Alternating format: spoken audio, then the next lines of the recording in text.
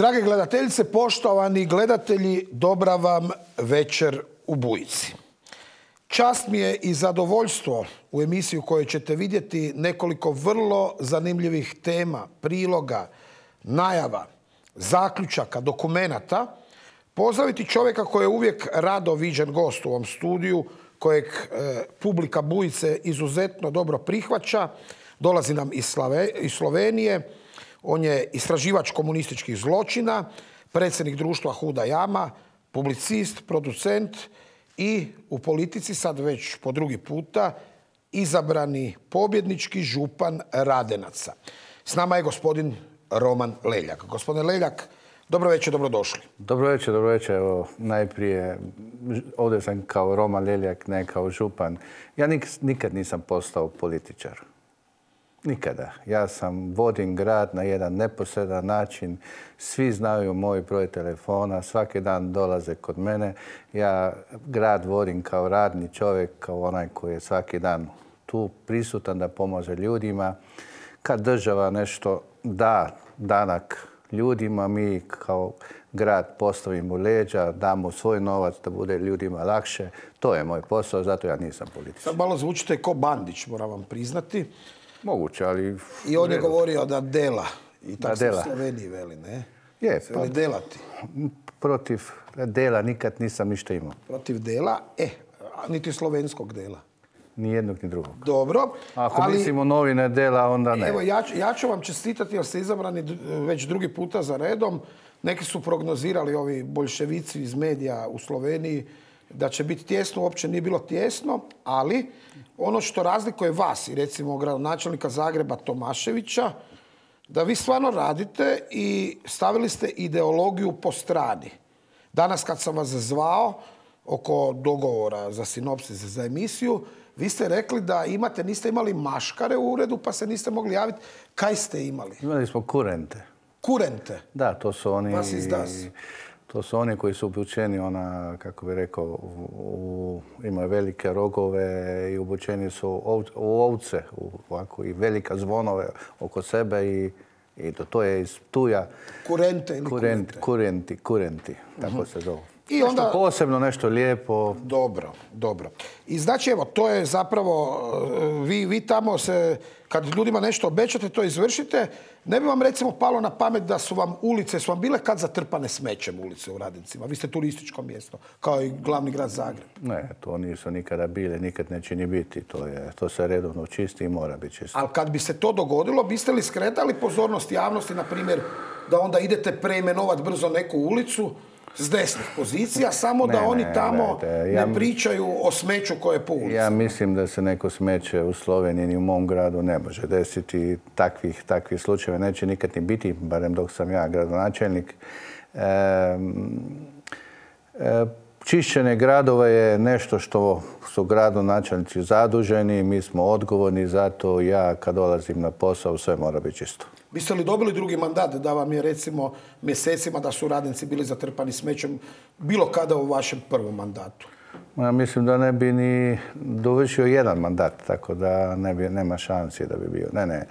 E, čistoća, urednost, e, efikasnost, ono to mora biti.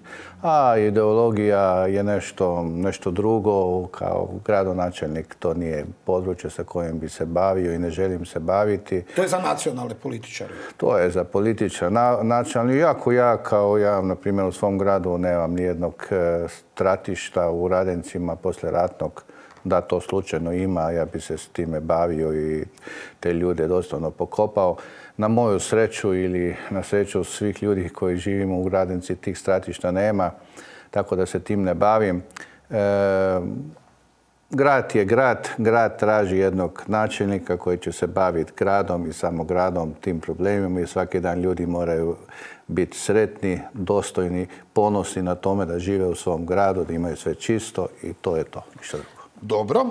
E, dragi gledatelji, doveo čovjeka koji je župan Radenaca, vrlo ugledne turističke destinacije, čiste prije svega, i čuli ste i sami. Vrlo rado bi oni Leljaka dočekali na nekoj ideološkoj temi, od kojih mi doduše ne bježimo, niti u Bujici. Ali u Zagrebu, glavnom gradu svih Hrvata, pa i ovih što su u Zambiji zapeli, se događa uvijek ista špranca. Nesposobni Tomislav Tomašević ne zna šta će sa šmećem, pa onda ide prefarbavati murale Bad Blue Boysa. Ne zna kako riješiti neke druge probleme, pa onda opet ide prema ideologiji. Cijelo vrijeme za to optužuje desnicu, iako je i moje mišljenje kao novinara da od toga ne treba bježati. Ali sada je vrlo znakovito u središtu pozornosti svjetske, ne samo nacionalne javnosti, je skandal Zambija. Kako bi skrenuo pozornost tog skandala, nakon što se izblamirao i Andrej Plenković kontradiktornim izjavama, drug Tetejac i njegova ekipa su zapravo pokušali plasirati i raspravljat će se i na nadležnom skupštinskom odborom o tome promjenu četiri naziva ulica. Dakle, kad ogreznu tvoji tamo s optužbama za krimčarenje djecom, ti pričaj o kako oni pred, desnici predbacuju ustašama i partizanima. E, sad vidite da gledatelji prevarili su vas. Oni su ti koji o tome pričaju, došli na vlast pa po svome. Slijedi uvodni prilog koji su zajedno pripremili kolega Igor Petrović i kolegica Andreja Jelena Barešić.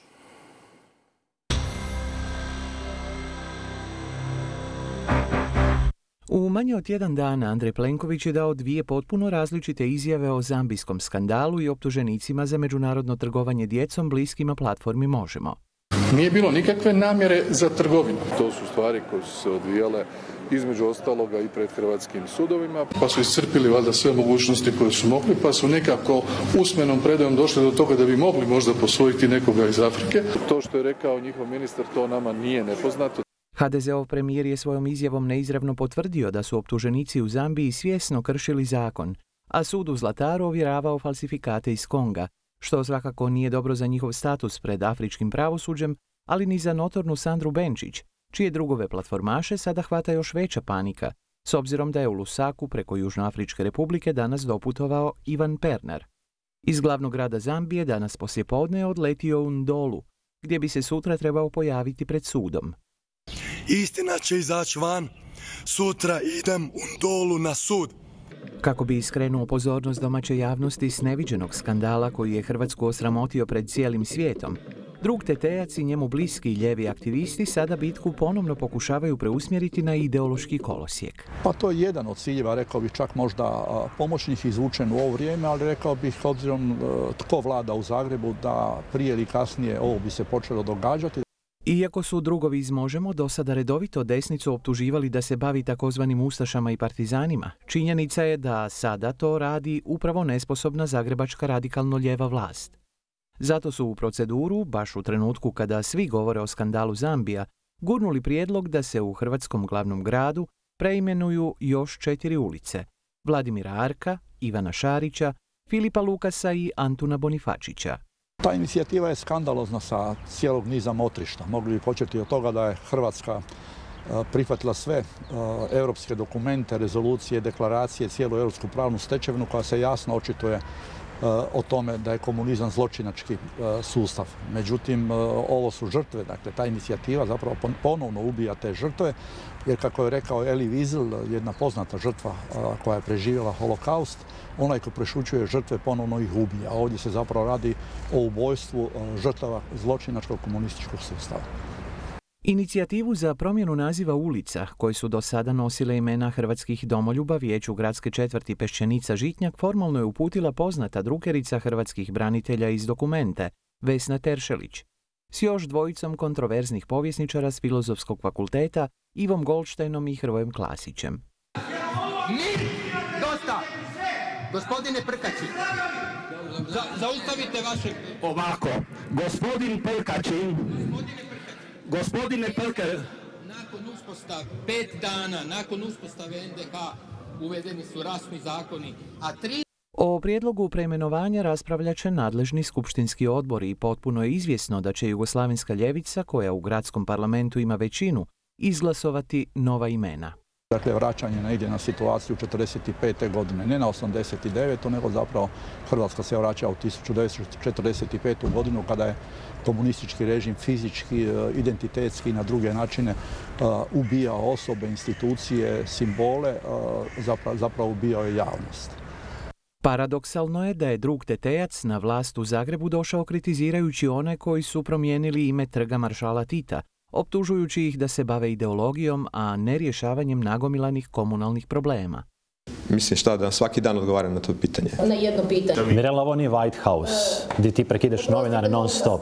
Suočen s vlastitom nesposobnošću i ulicama punim smeća, drug Tetejac je odlučio tim istim ulicama promijeniti imena. A smeće neka ostane, baš kao i drukanje onih koji ga neće stavljati u plave vrećice da se provjeri sadržaj te vrećice. Pa se nađe račun, pa se, plati, pa se naplati cijela kazna onome koji to napravio. Tomašević je svoju vladavinu Zagrebom započeo uklanjanjem murala Dinamovih navijača posvećenog Vukovaru.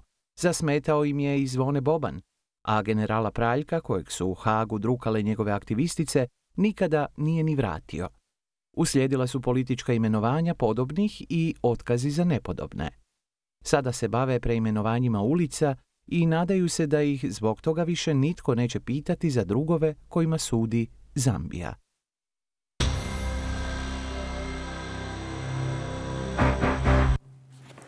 Vrlo zanimljivo, gospodine Leljak, iz fokusa čine sve da nestane ta Zambija. Jeste pratili usput da vas i to pitam, razgovarat ćemo mi o drugim stvarima. Jesam, malo sam pratio to Zambiju, je li bilo u Sloveniji takvih afera? Ne, u tom, u takvom dijelu ne, moram reći da nije bilo nikada. Bar da se ja sjećam, da je bio u javnim novinama, nije bilo. I sad kako bi skrenuli pozornost sa tog skandala, oni su, dakle, zakotrljali prema Skupštini, prema odboru, jedan prijedlog koji je došao sa potpisima Golštajna, Evo, ja Klasića. Bi, ja bih poručio svim onim u odboru i u Skupštini grada Zagreba par riječi samo. Što se Vladimira Arka tiče, znači poduzetnika alkoholnih pića u gradu Zagreba, on je iz Siska, znači iz djece koji su dovedeni najprije iz Kozare u Jasenovac, pa iz Jasenovac u Siska. Iz Siska uzeo 17 djece i kod sebe ih imao sve do 45. godine, poslije 45. godine ih je predao srpskim roditeljima. I zbog tog čina treba njegova ulica ostati u gradu, jer je pokazao da je veliki čovjek, eh, hraneći eh, već u 3-4 godine 17 djece srpske nacionalnosti. Čekajte, vi dakle tvrdite da Klasić... Ne, to ja ne tvrdim, to je i u arhivu u Zagrebu. Imate dokument? E, objavljeno je u mojoj knjizi i u filmu Djeca s Kozare, dokument o tome, tako da je to javna stvar koja ja mislim da ako treba bilo kome iz odbora ili iz Gradske skupštine grada Zagreba, ja ćemo to rado poslati. Znači, da, da, da prevedemo gledateljima. Oni, pored ostalih, traže da se ukine ulica gospodinu Vladimiru Arku. Čovjeku By the way, on je židovskog podrijetla, a to traže Golštajn, Klasić, Teršelička i ostali. Znači, oni traže da se njemu makne ta ulica, a činjenica je da je on spašavao djecu s Kozare, spasio ih i nakon rata su ta djeca dakle, vraćena da, roditeljima. to dovoljno za jedno da neko ima svoju ulicu, dovoljno. Pa zapravo interesantno je to. Oni traže, dakle, ukidanje Uzeli su mu tvornicu, iz njega napravili, mislim da badel, kako god. On je zapravo, hoćemo čuti sad na početku, dakle, imamo tu i gospodina Šarića, nadbiskupa, da. koji je preveo Bibliju na, na hrvatski, Imamo gospodina Šarića, nadbiskupa, koji je surađivao sa biskupom e, u Zagrebu i koji su zajedno donali odluku i spasili tisuće i tisuće Roma u Bosnoj i Hercegovini su i dali status bijeli cigani, bijeli Romi. Na taj način svi e, znači, Romi u Hercegovini, u Bosni i Hercegovini bili su spašeni od e, progona sa strane fašističkih snaga. Evo, i to je činjenica koju niko ne može reći da nije istina. Imamo i... Ni Klasić i ne znam ko drugi. Bonifačić, Lukas? Bonifačić, e, Lukas, e, e, evo, Dugogodišnji predsjednik Matice Hrvatske. Da, on je bio od rata. 28. godine, ili 22. od 28. godine do 45. godine predsjednik Hrvatske matice. Znači, Hrvatska matica nije bila samo od 41. do 42. prije, prije od 22. 28. godine kad je on sve te vrijeme bio predsjednik. Znači bio je dobo- podoban za kraljevsku vladu. Da, bio je podoban za mnoge, radio na hrvatskom jeziku i te stvari. Tako da ja mislim da tu opet nema razloga zbog e, samog dela koji je bio u drugom svjetskom ratu. Na kraju krajeva taj rat je bio e, za 5% stanovništva, 95% stanovništva normalno i živjeli u ratno doba. Mi danas govorimo o ratu kao da su svi u ratu, nije istina. Tada se je bilo o raznim borbama 5% stanovništva, svi ostali su morali raditi. Raditi normalne svakodnevne poslove kao i u miru. Tako da nije to razlog za njega osobno, nije mi poznata ni jedna stvar da bi s- radio na bilo kakvim likvidacijama ili tako nešto da bi njegovo ime bilo poredak. Isto za e, Antun Bonifačić. Bonifačić, e, znači Lukas čini mi se, e, znači treba je znati da je u doba NDH izašlo u prosjeku najviše knjiga, mnogo više nego sada u ovo doba. Znači, za svaki dan u drugom svjetskom ratu izašla jedna knjiga. Otvare, zidane su kuće i tako dalje. Znači, svugdje je bilo ta njegovo mjesto koje je on tu bio prisutan, radio, tako da ima mnogo tih pozitivnih stvari, tako da taj Bonifačić je bio potpredsjednik društva književnika. Da, i to. Ajmo sad čuti profesora Jurčevića i on je nešto rekao o tome svemu, pa da vidimo što profesor kaže, ko su bili ti hrvatski domoljubi kojima e, vlast Tomaševića u Zagrebu, kako bi prikrili svoje nesposobnosti oko smeća, kršenje ljudskih prava u čistoći, kako bi fokus odvukli sa skandalozne afere Kongo-Zambija, kome žele promijeniti ulice?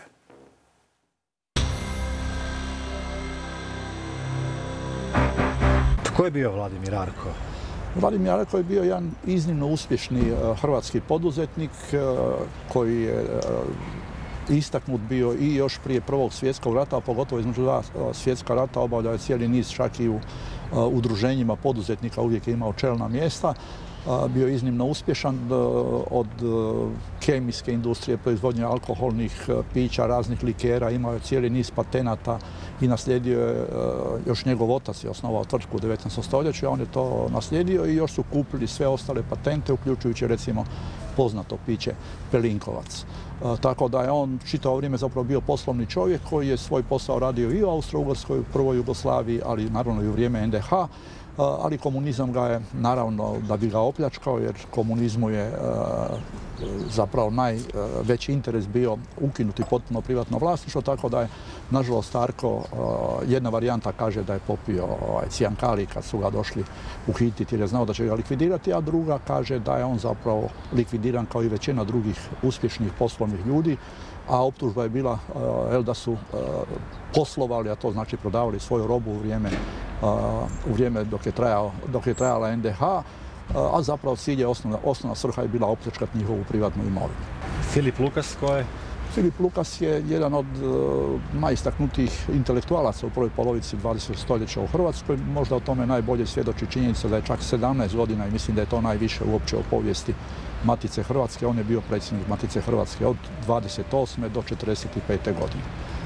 Ivan Šarić, Ivan Šarić je e, isto tako jedan od najistaknutijih e, nadbiskupa, dakle bio nadbiskup Vrhbosanske e, nadbiskupije i poznat je po cijelom nizu znanstvenih radova, a možda je najvažnije napomenuti da je on preveo Bibliju tijekom drugog svjetskog rata i svoj život je skončao zapravo u Madridu 1960. godine jer je morao pobjeći iz Jugoslavije 1945. znajući što ga čeka.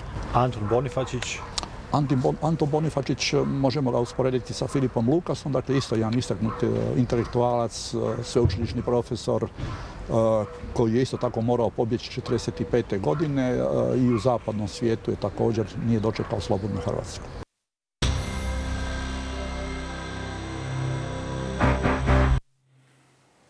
nadbiskupu koji je preveo Bibliju na hrvatski, Tomašević ide uzeti ulicu. Baš kažu da ima tam nekog strica ili nekog rođaka. Baš bi bilo zanimljivo čuti njegovo Mene zanima kako će e, Romi na to reagovati.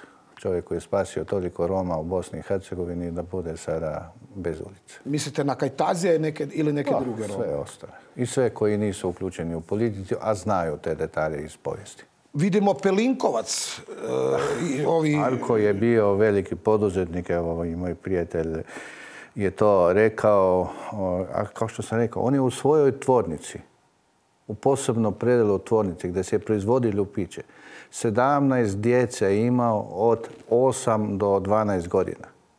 Svaki dan. Znači, skrivao je djecu u tvornici. u tvornici, školovao je, hranio sve skupa i još je davao novce ostalim Caritasu da, koji su primali djecu. Vi znate da su Hrvati prihvatili preko 20 tisuća djece iz Kozare, Zagreb i okolina. Dao je i, no- i novac i, i zbog toga njemu uzeti ulicu, mislim, ono, ja osobno bi bio veoma razočaran. Vas napadaju i u Srbiji zbog e, toga što ste objavljivali o djeci s Kozare. Evo, nadam se da će režija pronaći i telop ovog prijedloga. E, vidio sam, gledao sam neku emisiju, prozivali su vas, pa ako možete... Pa dobro.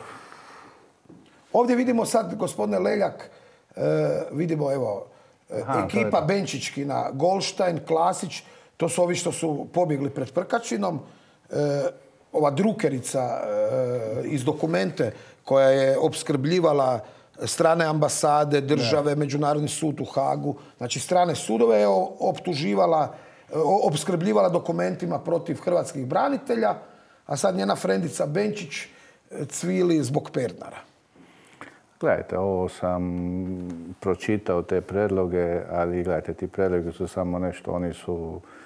e, samo to govore da su oni živjeli u to doba, u drugom svjetskom ratu, u NDH, ništa posebno. Znači, samo životopis koji nema nikakvog značaja da bi oni bili nešto krivi zato, zbog toga što su tada bili u NDH. Arka su znači ubili. Oni tvrde, vidim Klasić i ovi tvrde da je sam se ubio. E, Dobro, Međutim, ja, ja nek- tih podataka nemam, ja to ne mogu reći da li je taj cinkalijom popio ili nije, ali je bio to jedan veliki gospodin, ja bi čak i verovao da je to napravio zbog toga što nije bilo mu ispod časti da se da tim eh, hordama partizanskima koji su te 45. godine stigli u Zagreb i počele, počele sa tim likvidacijama.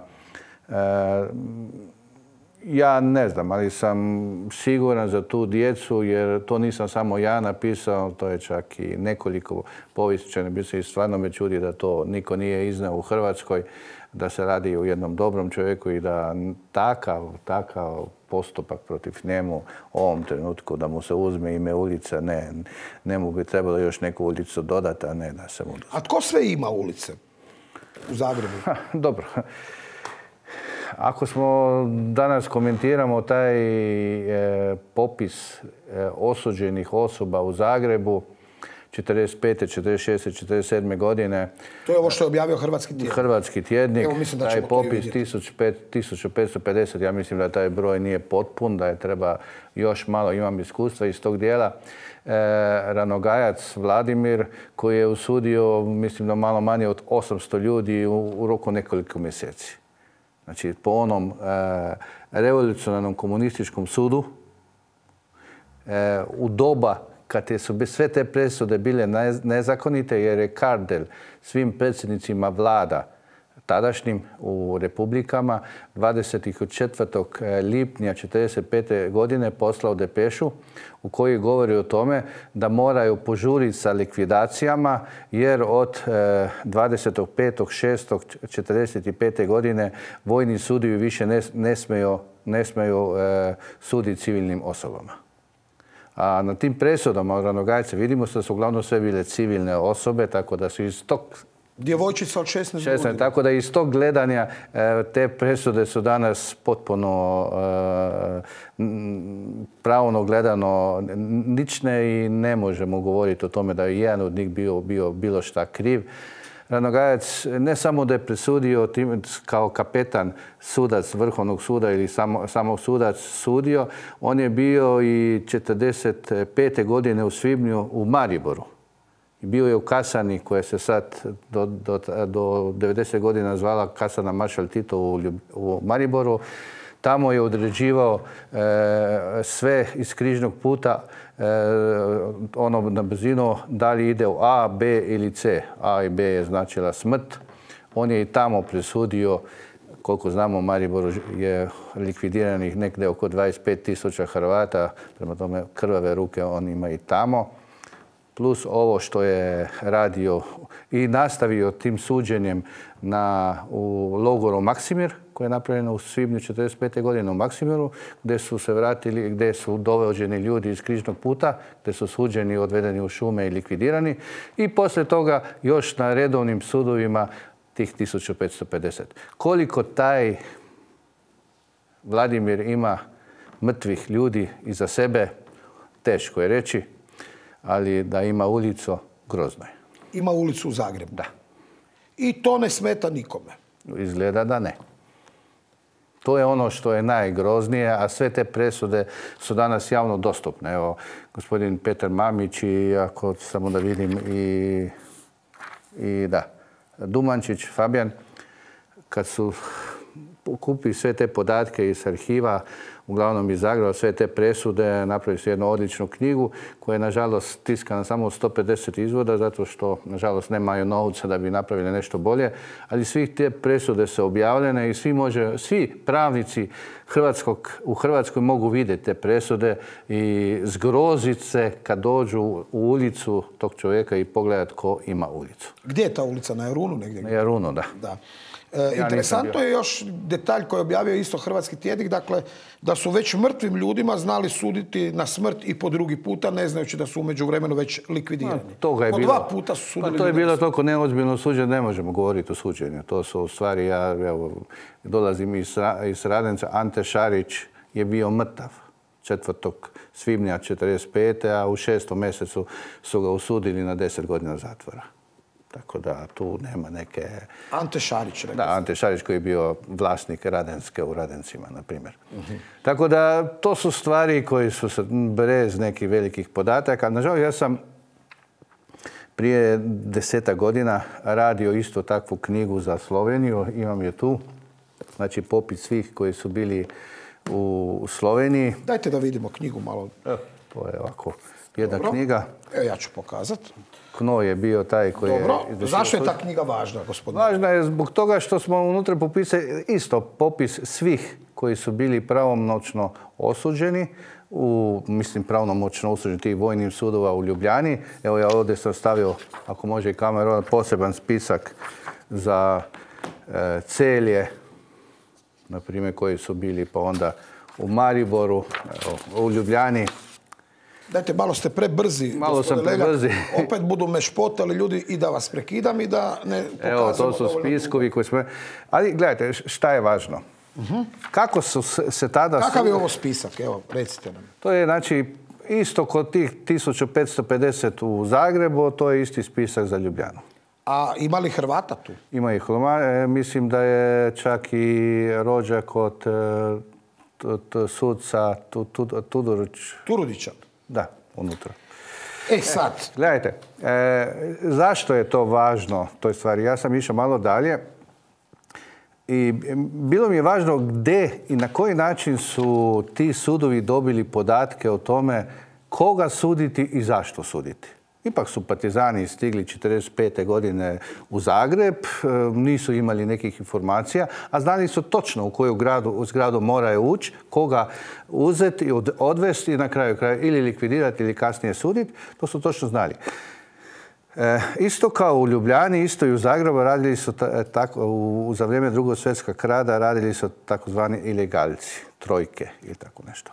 Oni su tada u Zagrebu skupljali novac i sve ostale za partizane izvan grada.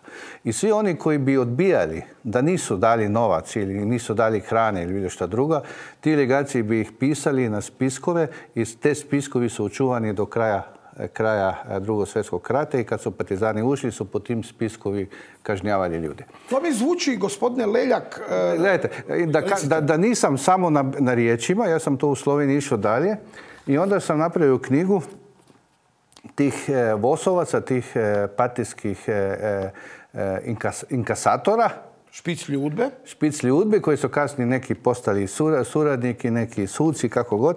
Ja sam sve te ljude, evo, u Sloveniji evo, objavio za čitavu Sloveniju. Te sve agente? Sve te agente, čak sam i stavio njihove slike, da ne bi neko razmišljao da nije... To su ovi što su drukali svoje susjede. Znači, to su oni koji su uglavnom bili na svim tim suđenjima i e, e, bili svedoci da je neko e, za vrijeme drugog svjetskog rata bio pomagač suradnik okupatu. Suradnik ja, znate zašto vas to pitam? Zanimljiva usporedba sad. Znači, ova priča sa smećem. Svako vrijeme ima neke svoje specifičnosti, ali model je isti. Tada je bila ozna koja je eto prokazivala radila, sad imamo eko oznu. Kao što su tada prokazivali ljude od vrata do vrata jer nisu htjeli dat e, ovim e, ušljivcima u šumi e, donacije, tako sada moraju špionirati za Tomaševića jedni druge od vra... Jel model isti? Ono, e, nemaš plavu vrećicu, ajmo kopat pa račun pa da vidimo. sad, e? ko neće to radi, dobit će kaznu i napravit će se jedan poseban spisak ljudi. Spisak? Koji, e, ajde, ne bi sad... Neće likvidirati, ali će dati kazne. Dobro, kazne, čuli smo da će dati kazne. E, I još jedno pitanje što vas nisam pitao. Kad ste spomenuli e, ubijenog čovjeka vlasnika Radenske, kojem su uzeli Radensku. Da. Jel on ima ulicu u Radencima?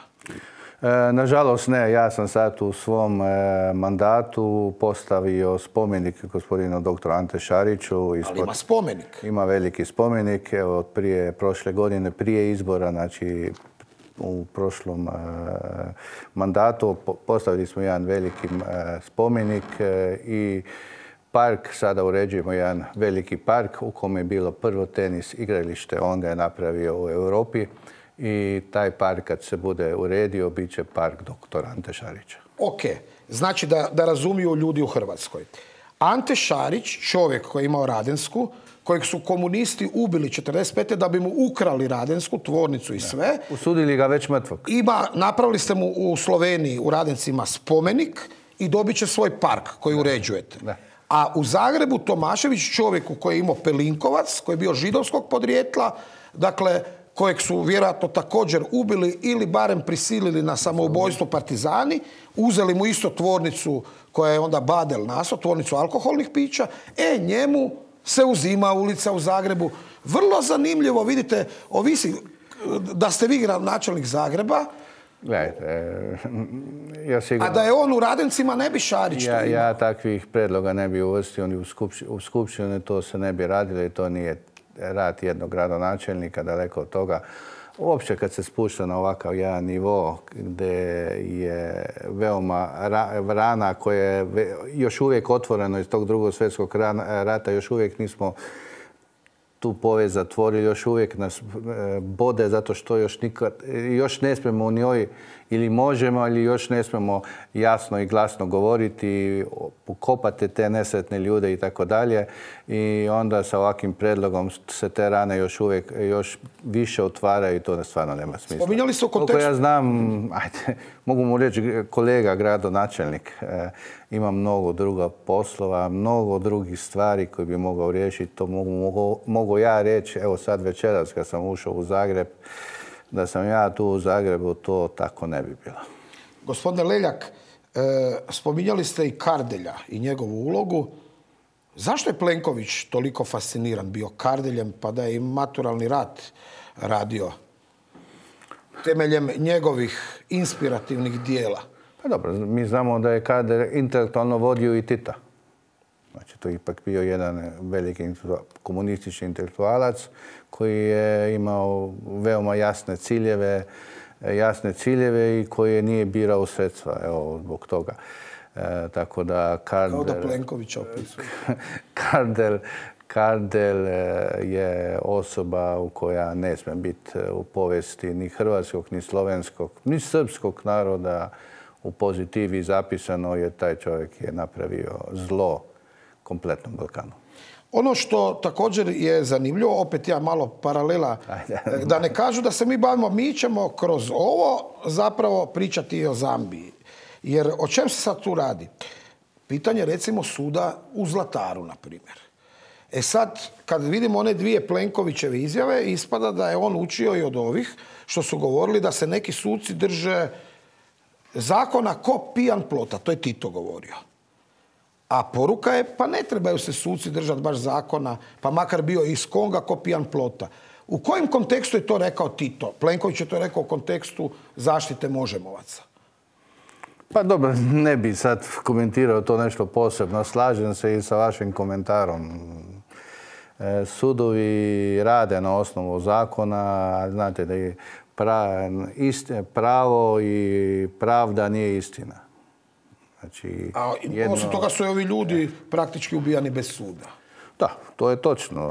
Evo, znači, e, ako moramo negdje menjati ulicu, onda je to sasvim na jednoj drugoj strani, a ne kod ovih četiri ljudi koji su evo, pravi Hrvati, koji su bili ipak e, dostojni i intelektualci onog vremena u jednom ratnom razdoblju tražili rješenje za svoj hrvatski narod. Tako da to ne razumijem i nadam se da će biti toliko pozitivne energije da to neće proći, da će te ulice ostati. E sad, dragi gledatelji, e, pa ćemo onda malo i o još nečem. E, malo smo kopali po arhivi i zamislite vi sad listopad tamo 2021. godine, jedna tribina u novinarskom domu na kojoj su gostovali, znate tko? Potpisnici ove inicijative da se promijene imena ovim ljudima, nadbiskupu i ostalima, Golšteni Klasić. A bila je tamo i Sandra Benčić, a to vam je ova koja se vrlo uzrujava sada oko Zambije. I sad ih mi imamo snimljeno zajedno. A zajedničko im je bilo, osim što ovi sad to guraju da bi se fokus maknuo sa Zambije, što naročito zbog suda u Zlataru uzrujava Sandru Benčić, zajedničko im je to što ih je uzrujao Ante Prkačin, pa je Sandra Benčić demonstrativno svoje drugare, napustila i napustila cijeli taj skup. Dajte da se prisjetimo kako je to izgledalo.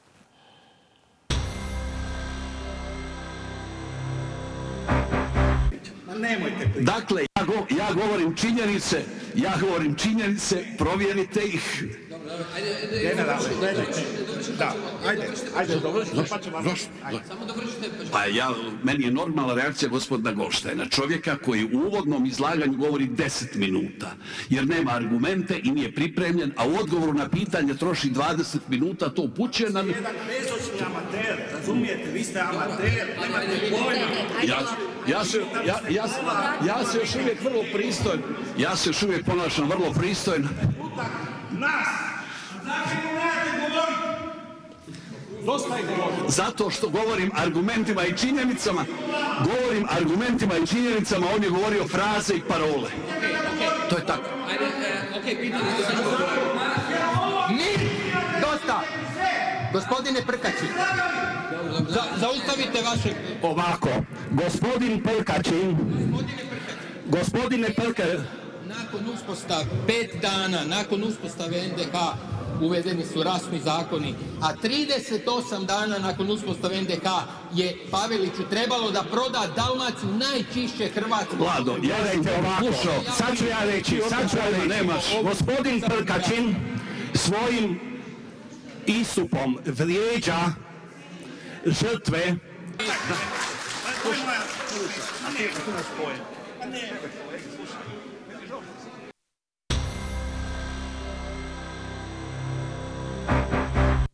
Vidite kako smo ih našli zajedno.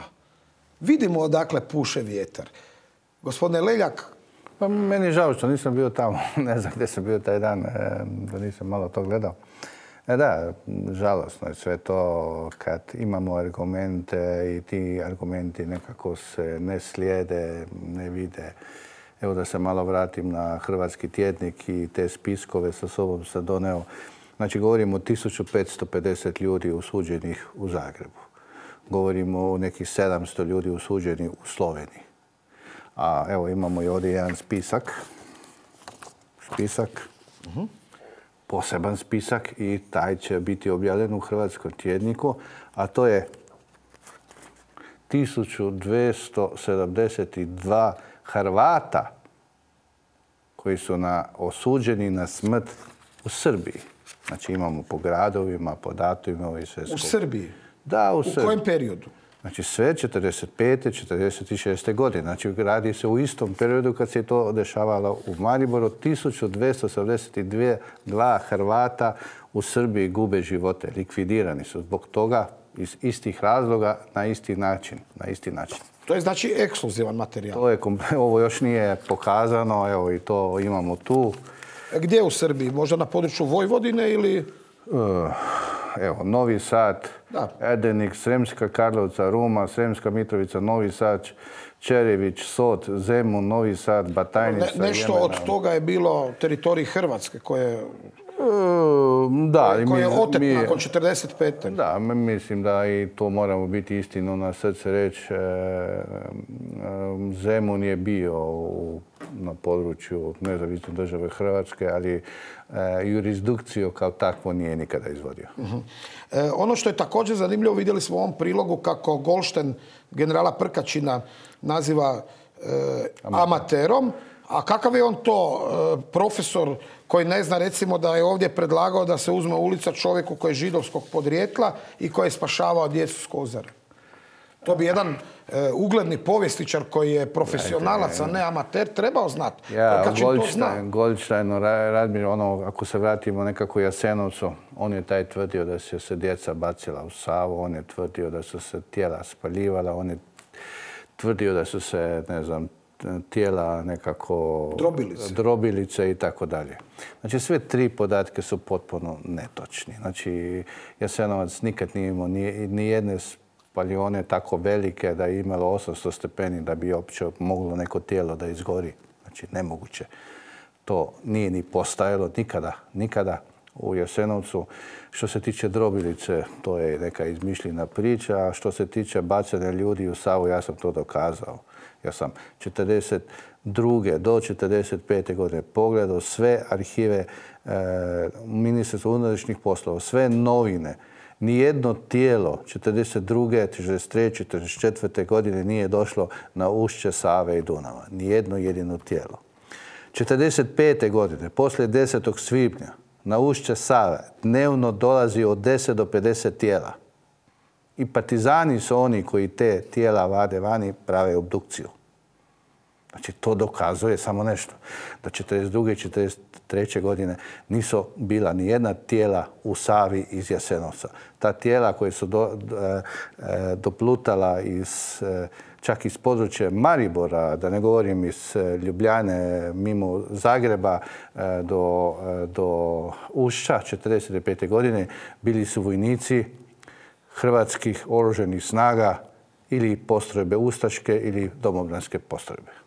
Gospodine Leljak, zbog ovaši- ovakvih vaših stajališta, istraživačkog rada, pokušaj da na jedan nezavisan način pristupite arhivima od kojih su najvećim dijelom zapravo arhivi e, bivši jugoslavenski komunistički, dakle njihovi i vi njih tučete njihovim argumentima i dokumentima, e, vi ste zapravo otkrili jedan tako grob kod Krškog tamo negdje i već pet godina vam zbog toga slovenske vlasti sude.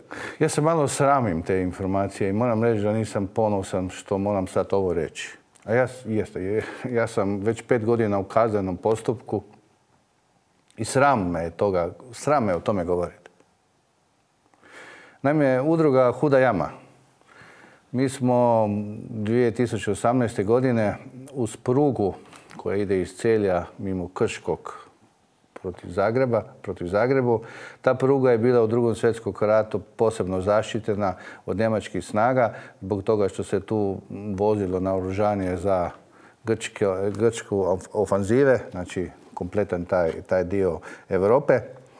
I svakih 300 metara je bio poseban bunker u kamenu, a u bunkeru iza, u samom bunkeru, približno 30-40 metara ili manje, bila je posebna soba, spavača soba gdje je spavalo 8 do 10 Nemaca.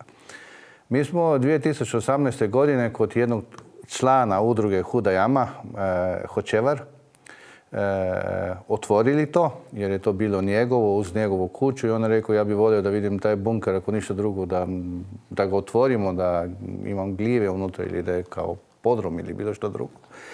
Mi smo to otvorili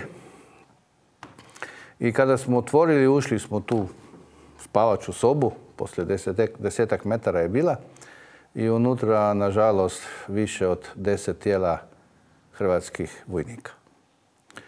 E, mi smo onda izašli, to uredno prijavili na policiji da smo našli te vojnike i tako dalje. I nažalost, e, poslije dvije, dva mjeseca neke istrage, istraga se nije, e, bila je protiv znači počinioce koji je napravio to kazneno djelo. još u vlasti prije Janše rekli, promenili su istragu. Istraga je bila protiv udruge Hude jame, protiv mene i mojih članova, e, da smo skrunili grob. Iako taj uskrnuli. uskrnili grob. Iako taj nije bio označen e, nikakve, znači šuma, običan, običan, ništa To dakle nije bio grob, nego Nije bio nikakav grob, znači grob može biti skrunitelj, groba može biti ako neko ima namjeru otići na groblje pa to napraviti tako nešto, tako je zakonodajac mislio. Nažalost, Slovenija eto da bi spriječila rad udruge Hude jame, znači to je bila u Šačevi vladi. E, ministar je unutrašnjih poslova je sada isti kao što je bilo tada te vlade je pod svobodom. I evo, već pet godina ja svaki tri, četiri mjeseca moram odlaziti na sud u Celje gdje dokazujemo da to nije bilo tako i presudu očekujemo, ja mislim da negdje u četvrtom mjesecu. Troši mnogo novca, mnogo vremena, a moram reći da me sram da ulazim na sud i da tako nešto slušam to je isto kada bi sad neko otvorio stratište neko i onda bi ti bio kriv da si otvorio stratište, a ne kriv onaj koji je pobio te ljude i koji, koji bi trebao dakle, Umjesto da, da istražuju, da se sudi onima koji su pobili tamo Hrvate, oni sude vama zato što ste to otkrili. Zato što smo otkrili deset e, nesetnih Hrvata koji su evo živi, zazidani u tom, e, tom bunkeru jer smo ih našli kako sjede to je slično, gospodine Leljak. Zapravo se povijest ponavlja. Jer kada vi recimo prozovete, kada gospođa Markić prozove Stanimirovića ili, ili kada se u mojoj emisiji dogodi da se prozove ili on ili neki drugi okupator iz ovog rata, onda znate oni angažiraju Nobila i oni onda tuže recimo mene, gospođu Markić i tako dalje, umjesto da sude njima ili njemu u konkretnom slučaju zato što je bilo okupacijski gradonačelnik Vukovara i zato što je bio odgovoran za najmanje jedno ubojstvo u Tovarniku. Nevjerovatno. ali, ali to je, dakle, oni su stvorili Meni je tužno da se to radi u Sloveniji. Ja se time ne hvalim, o tome ne govorim. Evo, prvi puta sam javno o tome govorio, čak i u Sloveniji. Svim mojim članovima Huda Jama i govorim o tome da nemojmo o tome. To je sramota jedne države. Nemojmo se time hvaliti, nemojmo, jer to je nešto strašno što se upravo dešava. Ali, eto, ja sam ponosan da sam to smo otvorili. Nisam ponosan što smo to našli, ali ako smo ih sada našli, ponosan sam da će tih deset Hrvata konačno biti barem dostojno pokopanih u pravom grobu, a ne u nekom vojnom bunkeru koji je bio sagrađen sasvim u druge namere, a ne u namere grobova. Imamo još sad... Uh... Imamo još jednu stvar, ako smijem. Znači, kad smo govorili o tim svisku, znači tim stvarima što se dešavalo od 45. godine, tim suđenjima, e, e, sa sobom sam donio isto jednu moju knjigu, e, mislim da je izašla 2013. godine. Evo, knjiga je na njemačkom jeziku, Ferjakt, znači nasilno iseljeni ljudi. Evo, ja sam popisao 42 tisuća nemačkih e, e, nemačkih državljana koji su živjeli tada u Jugoslaviji na Republiki, u Republiki Sloveniji, znači koji su bila neka nemačka... Po narodnosti, možda manjina, to, da. Manjina, koji su bili u, tada u manjina prije drugog svjetskog rata. Znači, od 10. mjeseca 45. do veljače 46. godine 46 tisuća ljudi iseljenih nasilno iz Slovenije. To se događalo i na području Osijeka, to se događalo i u Srbiji oko Novog Srijemu, Srijemu i tako dalje. Tu su bila od tih 46 tisuća imamo preko 12 tisuća djece. Svi su imali pravo sa sobom uzeti 50 kg, znači jedan koček napunjen svema. Sve ostalo su ostavili tamo. Sve te kuće u tih Njemaca dobili su oni koji su se vratili iz Partizana i dobili su vlasništvo jedan kroz jedan. Znači vlasništvo, puno vlasništvo, a danas mi svi plaćamo te e, stvari kad mora sadašnja generacija vraća te stvari. To su strašne stvari, evo ta knjiga je izašla tada i stvarno sam nekako zadovoljan da je ta knjiga nastala i da smo sve to popisali je to e, velika povijest za njemačku manjinu u Sloveniji. Zato njemačke manjine u Sloveniji danas nema, ne postoji. Ima nekih drugih pa vam biraju vlast koji ovi kod nas. Idemo sad, e, nešto još za kraj važno, tiče se i Blajburga, ali E, kako sam dužan e, objaviti ekskluzivu, a pratit ćemo, imat ćemo jednu veliku emisiju u sredu o tome, pratili ste gospodina Pernara, bivšeg saborskog zastupnika koji je bio također bujice prošli tjedan. On je, kako bi sad demantirali ono jutarnje pisanje takozvanih dobro upućenih mainstream medija, koji su rekli da nije mogao u Zambiju, mogao je. Ušao je preko Južnoafričke republike, išao je u Lusaku, nakon toga je E, e, presjedao, završio je u Undoli gdje se sutra pojavljuje pred sudom i sve je to ekskluzivno snimio za bujicu uz ispriku unaprijed zbog malo promuklog njegovog glasa jer je let bio naporan, imao je tri presjedanja, Kairo, Johannesburg, Lusaka i eto, javio se pa da ove koji govore da nije otišao dole demantiramo.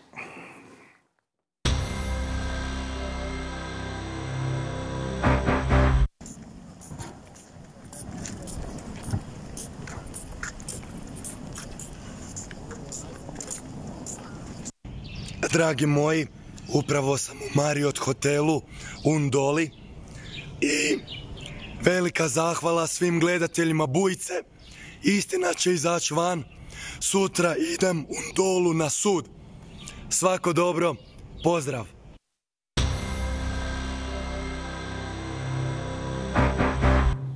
Malo je grlo stradalo zbog leta i svega ostaloga. Želimo evo gospodu Pernaru da se grlo što prije oporavi jer je važno da kad govori istinu u Zambiji da je govori jasno i glasno što njemu ne predstavlja problem. Međutim, zašto sam sad, ovo je najava za srijedu, ali ujedno jedno, evo dva pitanja za vas. Prvo, ovdje se sad vidjela po prvi put ta sprega e, koju je napravio europsko-pučki Plenkovićev HDZ sa Možemo u zaštiti tih optuženika za pokušaj e, ilegalnog posvajanja djece iz Konga. Tako nisu branili Salopeka, niti se zalagali za njega svojedobno naši diplomati, pa je ostao odrubljene glave. Nisu tako naravno ni hrvatske branitelje, njih su proganjali i drukali i tako dalje. Međutim, u Austriji je na vlasti takva koalicija. Kažu ovdje neki HDZ-ovci to je nemoguće. Kako nije moguće kad Volkspartei e, u Austriji koalira sa zelenima.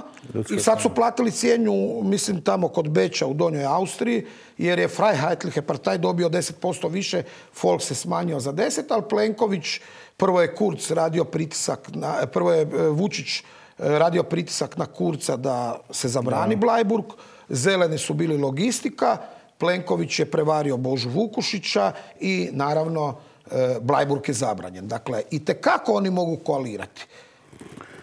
Nažalost, evo, meni se sve čini u Sloveniji, pa sad je ovdje u Hrvatskoj e, vidim da nema više podele lijevi, desni, HDZ, SDP. Ja mislim da je ta podela kao i u Sloveniji za prave i neprave. Oni koji su vlasti su pravi, a oni drugi koji su nepravi. Oni neka druga stvar. Uopšte nema neke ideološke podele, nego mi smo pravi, oni su oni drugi.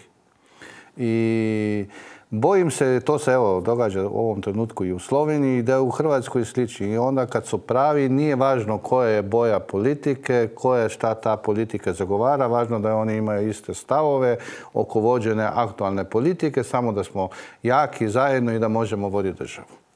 Što sad radite, gospodine Leljak? Čime se bavite? Evo, nije vas bilo neko vrijeme, zvaćemo vas ponovo. Evo, ja sam Veso, mi smo sada završili film Kočarski rok. E, Kočevski rok će biti izrađen na jednom posebnom stiku, znači ne na DVD-u, nego u stiku, da bude ljudima lakše da ga direktno gledaju na televiziji. A sada smo počeli, počeo sam raditi, ipak je Huda jama nešto što sam otkrio 89. godine prošlog vijeka, što smo, što smo 2009. godine otvorili. 2016. godine sam je prvi puta pokazao u Hrvatskoj. E, i poslije toga je bila i sumacije.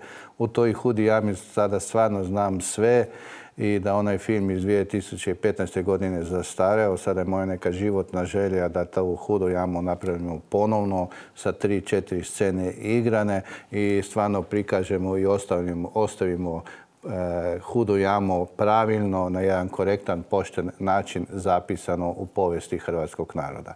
Tako da, evo, ja bih bio zahvalan da svi koji mi mogu pomoći u tom u tom e, e, planu da mi pomognu na takav i drugačiji način i redakciju Bujice molim da ste na mojoj strani da mi pomognete i da to napravimo i da bi taj film najkasnije proljeće sljedeće godine bio prikazan u svim kinodvoranama po Hrvatskoj, po svijetu, da vide jedan od najkrutijih e, zločina koji je napravila koji su napravili komunistički partizani. Evo, dragi gledatelji, naravno mi ćemo to pratiti. Pozivam sad sve da se jave na stranice Hude jame e, i gospodinu Leljaku pa da se to realizira. Vjerujem da će mnogi u svijetu i u domovini biti zainteresirani za to. Uz jedno pitanje, za vas i nije toliko provokativno, ali e, mislim da je Milanović često spominjao taj Kočevski rog. Da. Hoćete ga zvati na premijeru? Pa, ja nemam nikakvih problema sa time. Ja i želim i kada smo i predstavili Hudo jamo, pozvali smo sve političare u Hrvatskoj, čak su i neki došli, mislim da... E, tako da, zašto ne? Nek dođe. Kočevski rok je jedno veliko stratište Hrvata. Vi znate da se je prošle godine, u 22. godini, jedna od tih jama otvarala, unutra se našlo više od 3000 tijela, od toga je najmanje 1500 Hrvata. Nađeni su mnogi predmeti, govori o tome da su ti iz područja Like, iz područja Osijeka i iz grada Zagreba. E, to je jedno stvarno veliko stratište. Nažalost, svi znamo, kao što sam i mnogo puta rekao, Hrvatska je jedan od rijetkih naroda Europe, pa i svijeta koji ne štuje svoje mrtve, koji e, ne pokopava svoje mrtve, mm, to me žalosti i ja se nadam da će ipak taj dan doći, da ćemo sve mrtve uspjeti kršćanski pokopati na onako kako dolikuje za svakog čovjeka. Hvala vam lijepa gospodine Leljak uz e, tužnu napomenu da se ta ružna tradicija nastavila i u domovinskom ratu. Hvala vam. E, Znaćemo ponovo gospodina Leljaka. Jedna od tema u sljedećim emisijama kada će gospodin Leljak gostovati e, će biti i e, jedna vrlo zanimljiva biografija familije Tedeski i, i, mladog Emila koji je vrlo blisko povezan sa Možemo. Gospodine Leljak, ja ne sumnjam da nakon rade Pezdira još nekih ćete vi, hoćete se odazvati na tu temu k nama? Zašto da ne? Ja sam Pezdiru ustupio sve te podatke koje se unaša, on je od toga, napravio jednu lijepu knjigu. Tako da mnogo toga znam i ja mislim da možemo o tome stvarno lijepo razgovarati. Ne samo to. E, Tedeski je jedna priča kako su tadašnji e, funkcionari, se pravi partijski i savezne udbe e, nekako prognozirali sudbinu Jugoslavije i sigurno svoj osobni položaj u njoj. I sad oživljavaju kroz Možemo koji suportiraju, ali o tome u jednoj od sljedećih emisija. E, Hrvati se Hrvati vidimo se u srijedu u 20 sati i 5 minuta. Pozdrav također e, našim ljudima u Zambiji, a znamo i kojima, ovima što su danas letili. Doviđenja.